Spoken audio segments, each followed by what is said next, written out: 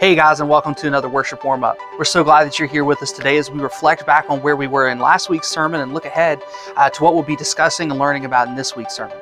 Last time we were together, we were in Daniel chapter 6, and we talked about what it means to persevere in persecution, what that looks like, and, and really how we can be faithful to do that as well.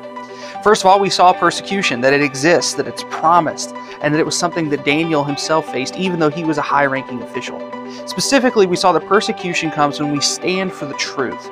Uh, when we don't just compromise and when we make bold truth claims, people will naturally respond to that in a way that uh, maybe is antagonistic or, or in a way persecution.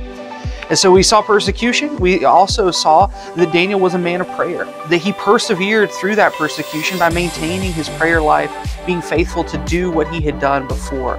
It was a lifestyle thing for him, that he was actively a person of prayer. Then we saw God's providence, that through all of this, God was working, God had a plan, and God prepared a way and saved Daniel even through that time. And finally, we saw that when we give God the glory for his providence, when we have these lifestyles of prayer and we persevere through persecution, uh, what we see is that there is also a, a, an element where people will take notice. It's evangelistic. People see us persevering through persecution, and then they too will come to proclaim uh, who God is and how good He is and see His glory as well.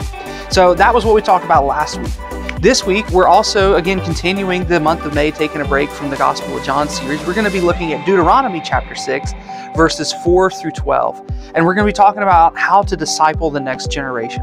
So we hope that you'll join us this week. You'll be reading these verses, praying over them, and looking forward to a great time of worship together.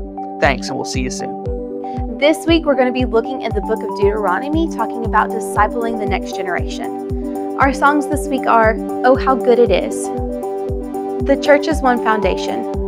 Build my life, and Lord be glorified. Yes, it is so important that we gather together as the body of Christ, but the work doesn't stop there. We should be discipling in our home because that is where it starts. We can't wait to see you Sunday as we are encouraged in that fact and hopefully put it into practice. We'll see you then.